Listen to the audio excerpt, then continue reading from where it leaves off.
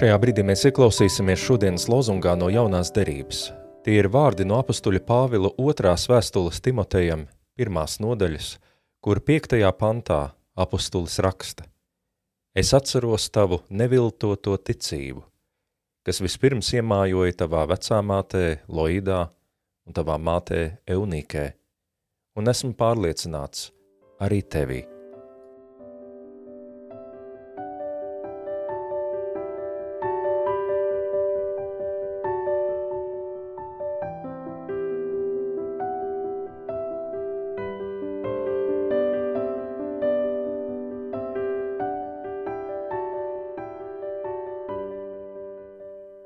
Visvarnais un mīļais Dievs, mūsu debesu Tēvs, mēs Tev pateicamies, ka Tu šajā pasaulē mūs esi apdāvinājis ar tik daudzām un dažādām dāvanām.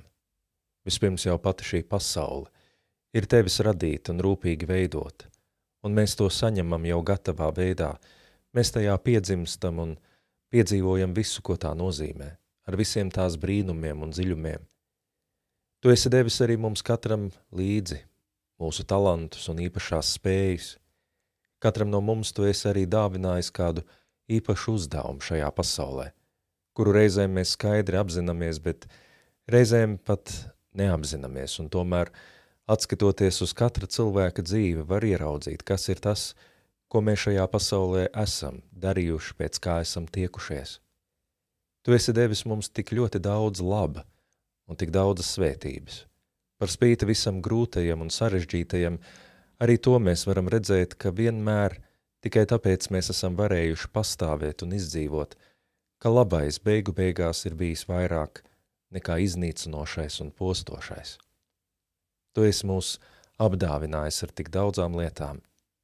Un tomēr visas tās, kuras līdz šim pieminam, tās attiecas uz dzīvi, uz pasauli, uz tevis radītajām lietām ap mums un mūsos.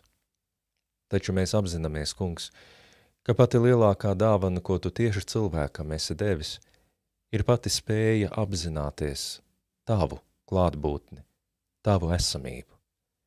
Redzēt ne tikai taustāmās lietas, bet ieskatīties ar sirdi un prātu tajā lielajā noslēpumā, kas esi tu pats. Nekad mēs nevaram tevi līdz galam aptvert, Un tāpēc tā ir ļoti liela dāvana, ja mēs kādā, sird, kādā brīdī varam piedzīvot savā sirdī uzticēšanos un paļaušanos uz tevi. Nevis uz tevis radītajām lietām, bet uz tevi, kas to visu mums esi devis. Tā ir tik liela žēlastība, tā ir tik īpaša lieta šai pasaulē, ka varam paļauties uz kaut ko, kas it kā nav redzams, bet tai pašā laikā, kas dod mums katru mūsu esības un dzīvības mirkli.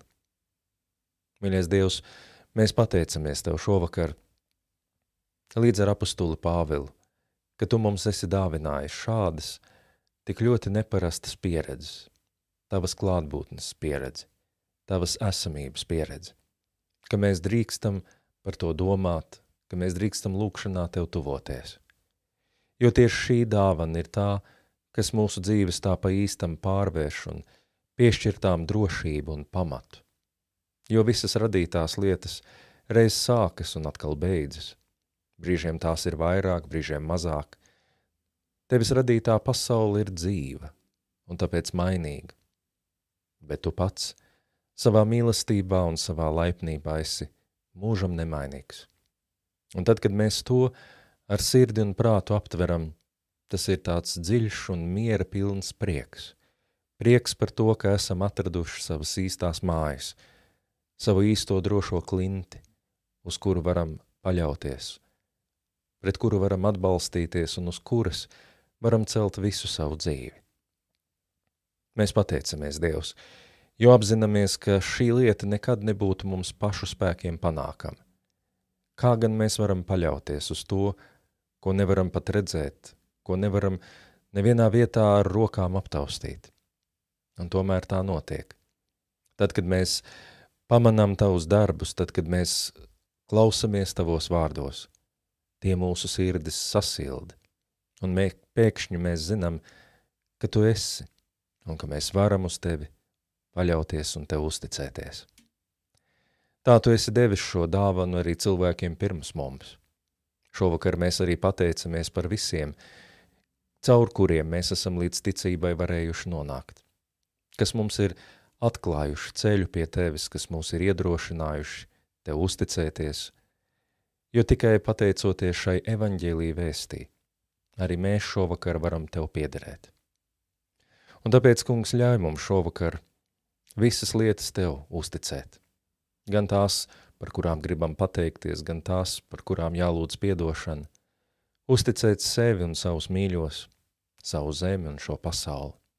Uzticēt tev, jo ticībā mēs iegūstam mieru, ticībā mēs izlīkstam ar tevi un pasauli, ticībā tu mūs pārvērt par cilvēkiem, kuros mājo milzīgs spēks – un iekšējs miers, visu grūtību, visu izaicinājumu priekšā.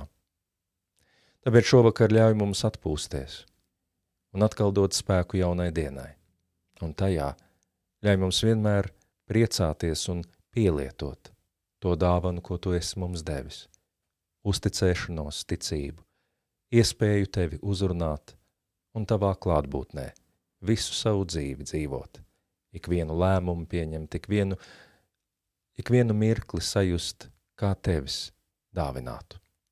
Tev pieder visas lietas, un tev gribam piederēt arī mēs.